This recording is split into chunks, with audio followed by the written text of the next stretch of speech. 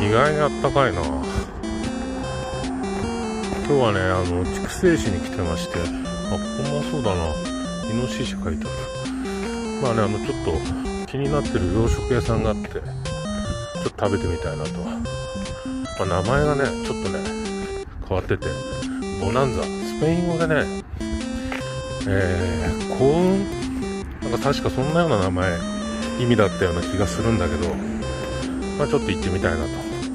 場所はね国道沿いからちょっと入ったとこここなんだけどまあちょっと寂れた感じはするけどちょっと寄ってみたいと思います。